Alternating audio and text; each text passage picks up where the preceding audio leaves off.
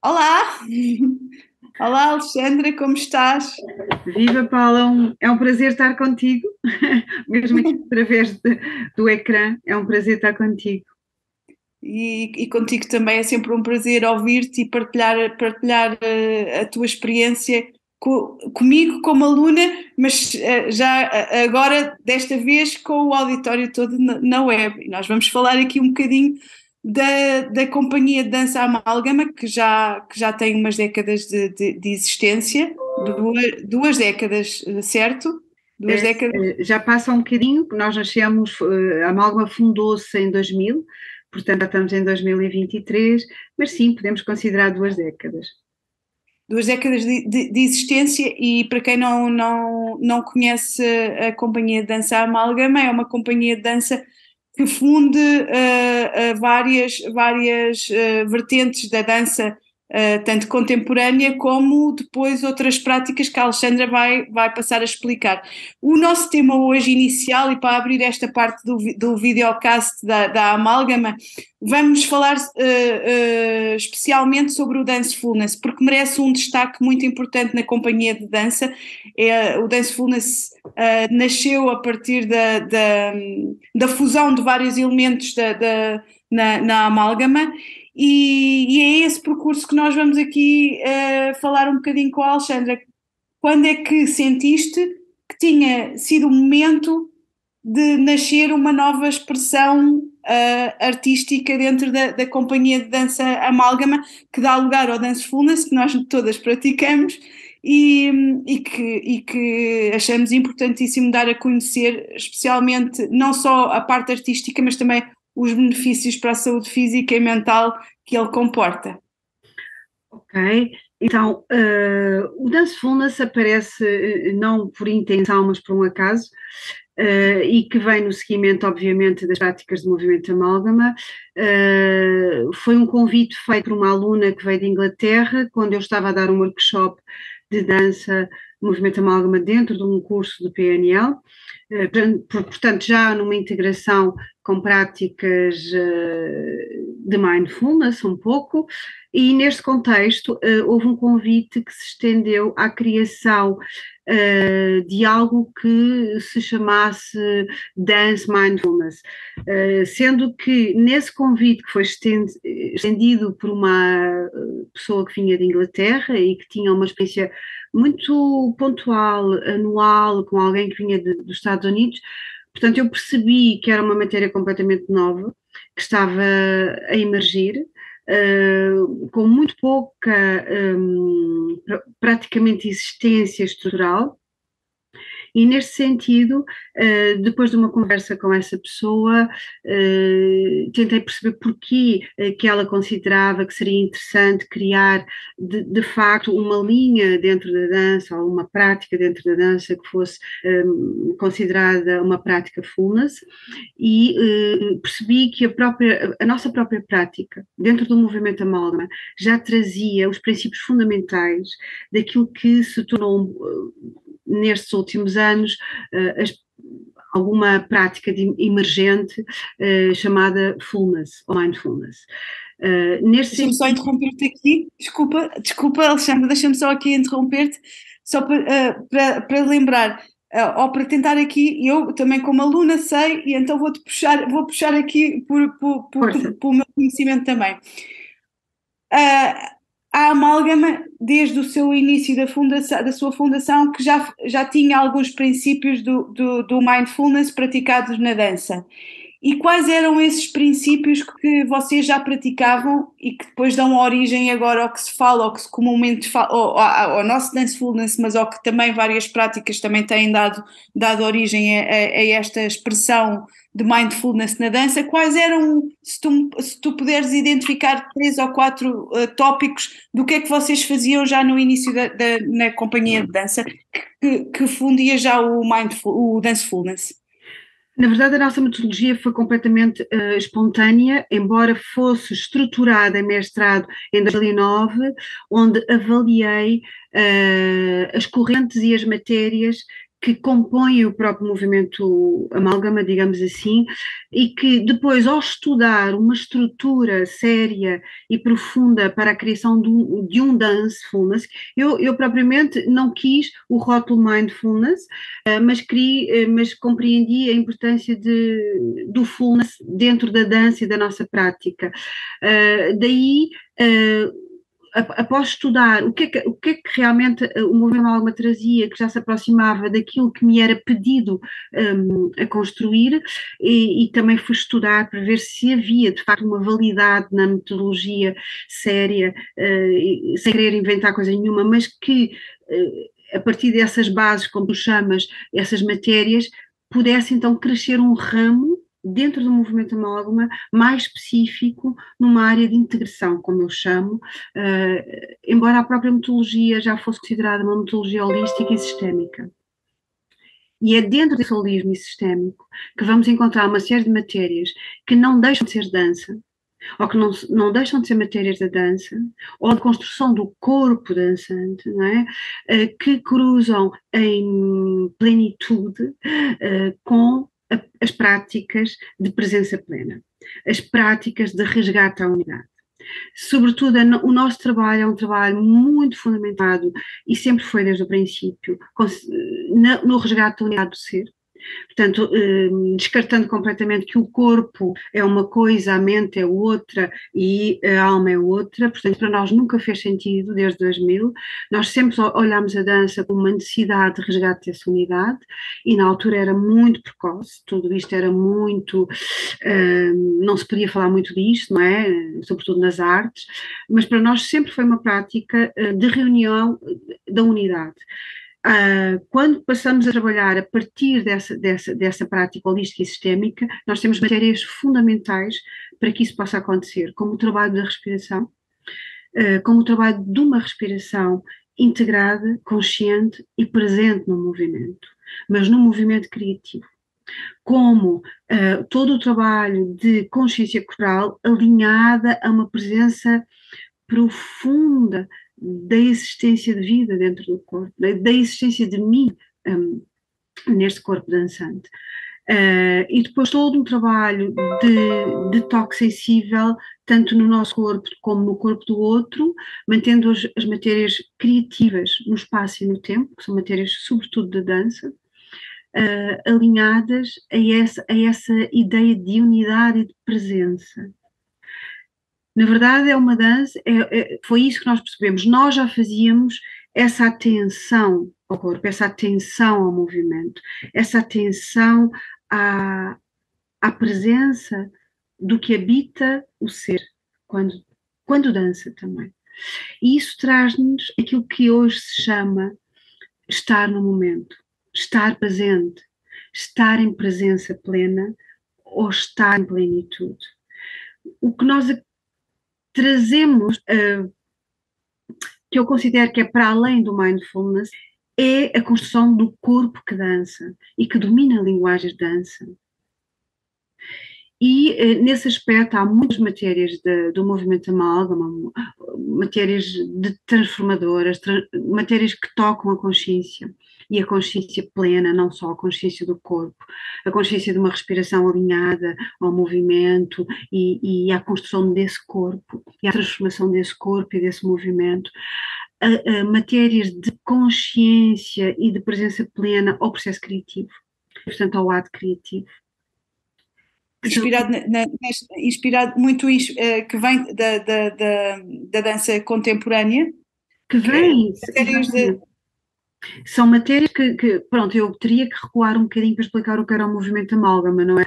Exato, mas isso fica, mas, mas, isso fica para, outra, para outra conversa que nós vamos falar do movimento amálgama só noutro videocast que iremos fazer. Exato, mas é. Mas é ele, ele cruza, ele cruza, ele, vai, ele traz a linguagem artística da, da, da contemporânea. Exatamente. Portanto, nessa base uh, de uma metodologia de dança contemporânea, sistémica e holística, não é? Na formação artística e no desenvolvimento pessoal, porque ela foi defendida assim em mestrado, estruturada e avalidada uh, na sua prática, a partir dessa, dessa, dessa metodologia base, então foi-se trabalhar as matérias que correspondiam mais diretamente ao dancefulness, portanto, uma prática plena de construção dançante, não é? Através de um corpo em unidade e ao resgate da consciência do ser, como ser criador, não é? E como, e como co-criador também. E onde se une, uh, e acho que isto é muito interessante, o micro ao macro em todo o processo, não é? A noção de, de é mesmo micro ou macro, e podemos dar vários exemplos, tanto do, do, do, momento em que eu me integro, como no momento em que eu me integro e integro com o mundo e com o outro, ou com os sistemas corpo cósmico, ou com o sistema de respiração uh, integrada já num plano maior, em que ao mover-me eu respiro com o universo, mas isto não é só teórico, começa a haver uma transformação uh, física. E esta transformação física é uma transformação mental, é uma transformação anímica e é uma transformação uh, da consciência espiritual.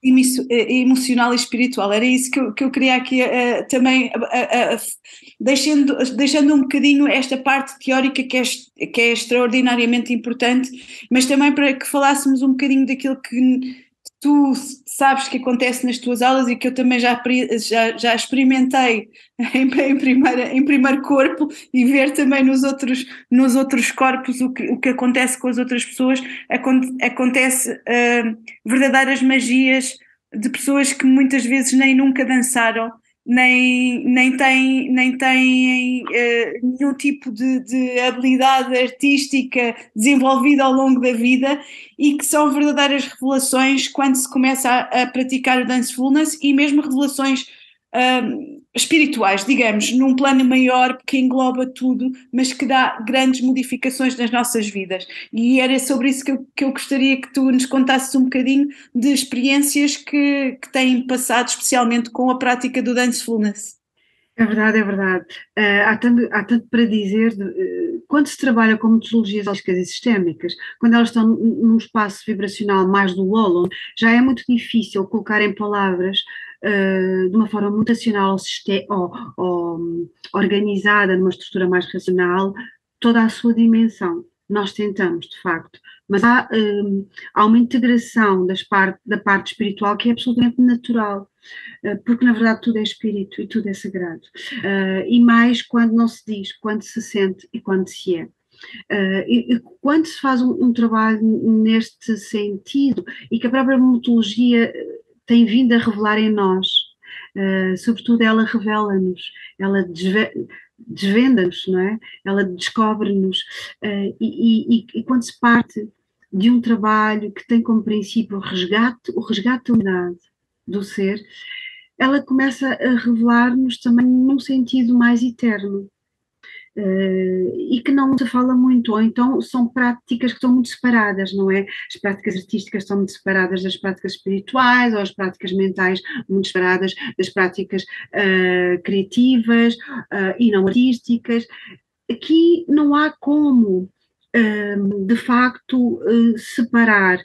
O que acontece são pessoas que até vêm com quase bases nenhumas em qualquer área, seja espiritual, seja artística, seja em práticas de corpo, e que num trabalho que é profundamente estruturado uh, e sério e, e, que leva o indivíduo a entrar numa viagem transformadora que passa pelo corpo, que integra a alma, que integra, integra a presença plena, integra também as partes espirituais, vai, vai fazendo uma espécie de alquimia uma mudança de paradigma ao nível do corpo. E quando isso acontece, simultaneamente, porque não há como separar, acontece uma mudança de paradigma ao nível da, espiritual e ao nível mental e ao nível anímico, ao nível da presença da alma, que é uma coisa que não se fala também na prática artística e que não se fala muito também nas práticas